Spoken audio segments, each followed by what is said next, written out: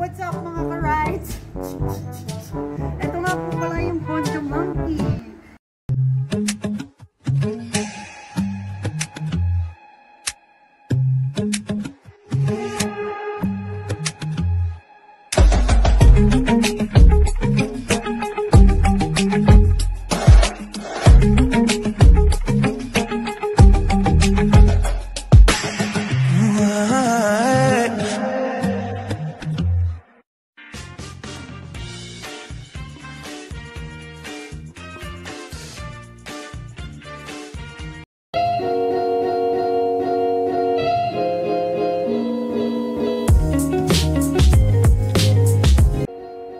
Sales of the Honda Monkey began in 1964 and in 1967.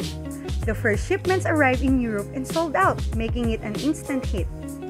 Perhaps due to its small frame, these bikes were commonly called the monkey or gorilla because of its cramped riding posture, suggesting a simian crouch.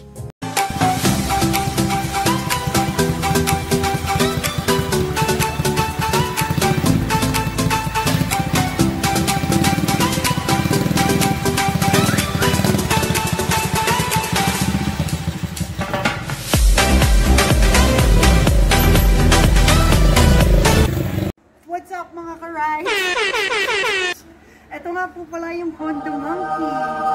Inilabas sa market ang Honda Monkey noong late 1970s and late 1980s. Sa ngayon po, wala po tayong mabibilang dito sa market sa Pilipinas, pero sa ibang bansa ay still ongoing pa po siya.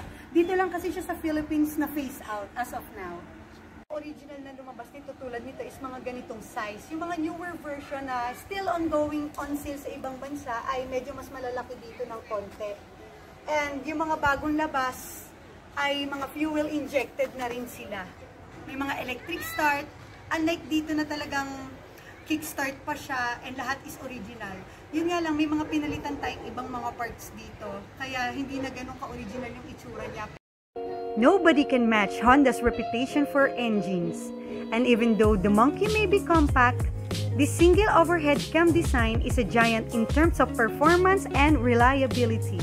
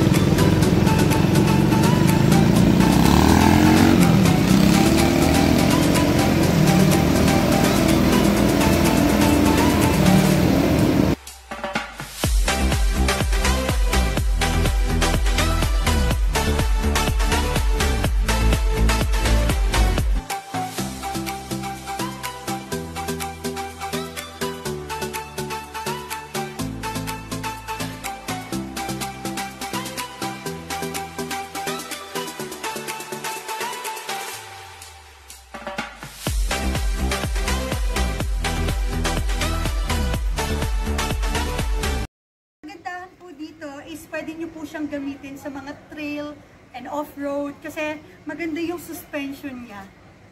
And alam naman natin na one of the top brands here in the Philippines is Honda. Kaya pwede nyo siyang gamitin sa long drive. Ngayon, sa mga gusto namang mag-restore ng ganitong bike, katulad ko, is medyo pricey siya kasi yung iba ino-order pa talaga siya. Pero, kung meron kang mga kakailanganing pyesa, meron tayong mga group dito sa Pilipinas, mga samahan ng mga monkey bikes na pwede nyo i-add. Like, sa Facebook, meron siyang mga samahan. So, pwede tayong makipag-member doon. Ang maganda dito is pwede ito sa mga bata at isip bata.